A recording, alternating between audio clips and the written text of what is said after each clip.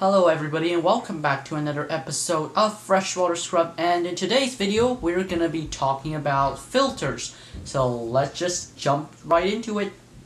Now filter is quite a simple equipment. Its sole purpose is to well keep the aquarium clean and at the same time circulate the water. But Despite its simplicity, the filter is actually one of, if not the single most important component in fish keeping, and its true purpose is oftentimes ignored or neglected by beginner fish keepers. So today I'll teach you more about filters. Now, before we jump into today's main topic, here are four main types of filters. So number one, we have the hang-on back filter. Number two, we have the canister slash external filter. Number three, we have the sump filter. And number four, we have the in-tank filter. Now, each of these filters have their own pros and cons, so it's important to research and, you know, just choose the right one that fits for your aquarium and your fish's needs. So firstly, let's talk about the hang-on back filter. Now, the hang-on back filter is popular for its many advantages. So firstly, of course, it's very small and compact, and then it's also very versatile. It is also relatively cheap, and it's also very easy to set up, perfect for beginners. All you have to do is just, you know, put it on the side of your aquarium, plug it in, and your filter will be running. So this filter, the hang-on back filter, is uh, can be used for both the freshwater and saltwater aquariums, uh, but it also has some pretty major drawbacks.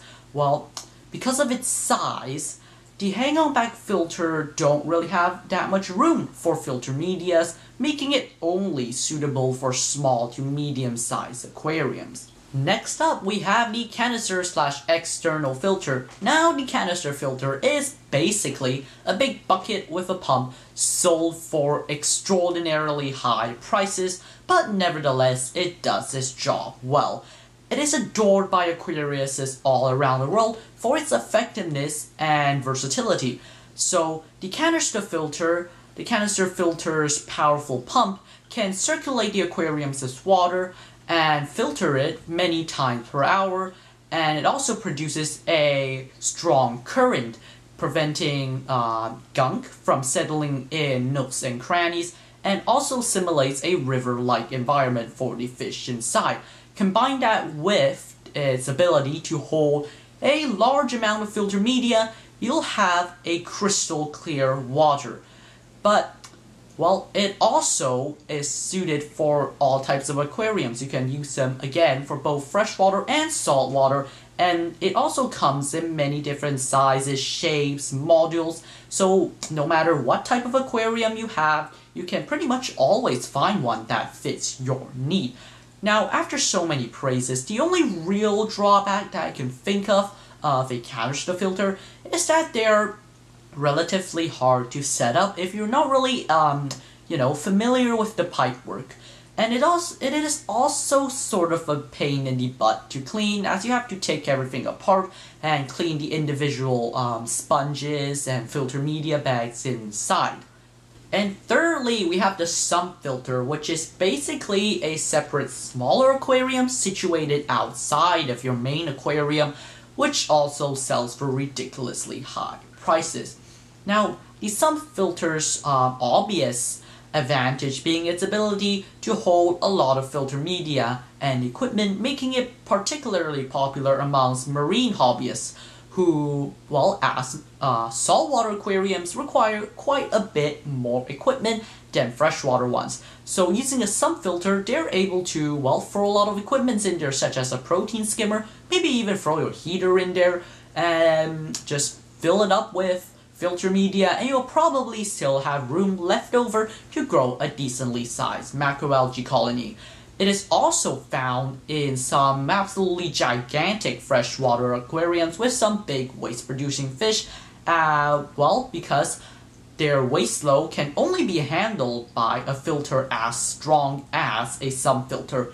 But the sump filter also comes with some pretty heavy drawbacks, being mainly being that it's quite difficult to set up because you have to connect the pumps and all the pipes to the, your main aquarium. It is also very bulky, meaning that you probably won't be moving it around easily, but if you have a large aquarium with some large fish, then the sump filter, well, might be the choice for you.